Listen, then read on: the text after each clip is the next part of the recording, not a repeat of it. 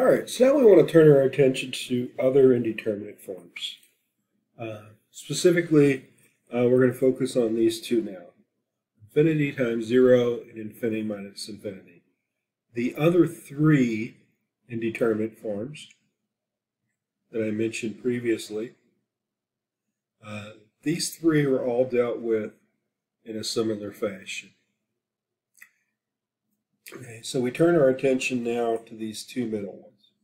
Okay, first two, we have our L'Hopital's rule, uh, which says again, if we have one of these, then we can differentiate the top and bottom to try to then evaluate the limit. Okay, these three will all be very similar. We'll talk about those a little bit. But first we turn our attention to these two. Okay, of these two, the infinity minus infinity are typically the toughest ones. Infinity times zero, we actually have a really straightforward way to manage, and that's the one we want to look at right now. And then later we'll turn to the infinity minus infinity. So anytime we have a limit that involves infinity times zero, like for example, uh, the limit as x approaches infinity of x squared sine of 1 over x squared. This, of course, as x goes to infinity, x squared would go to infinity.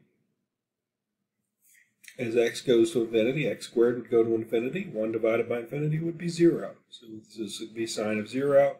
Sine of 0 is 0. Okay, so here we have a infinity times 0.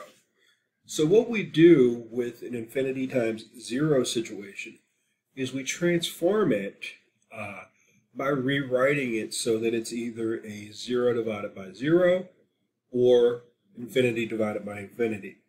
And the way we do that is by taking one of my two pieces, and I can take either piece, it doesn't matter, one of my two pieces, and in writing it, divide it by the reciprocal of the other piece.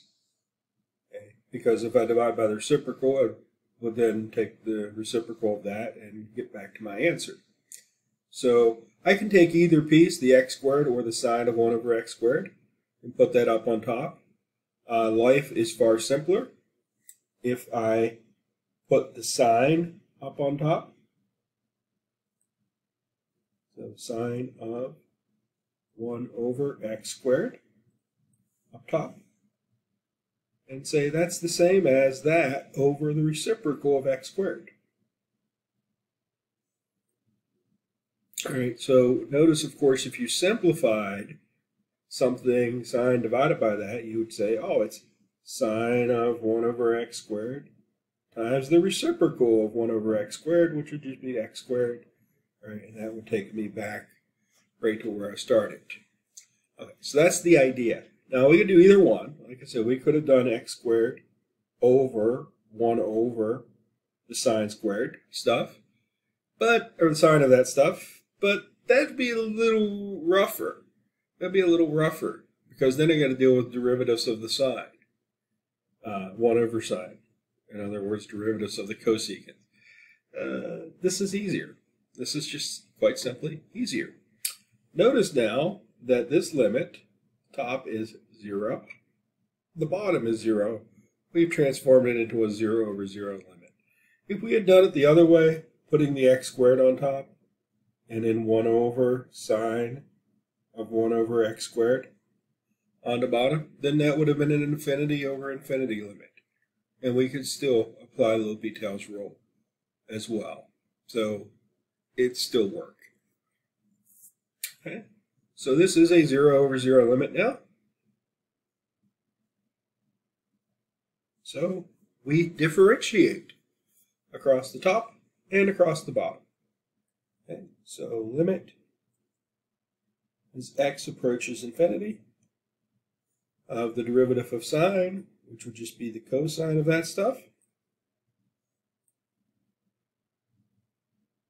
times the derivative of that stuff. Uh, so the derivative of that stuff would be the derivative of x to the negative second would be negative 2 x to the negative third.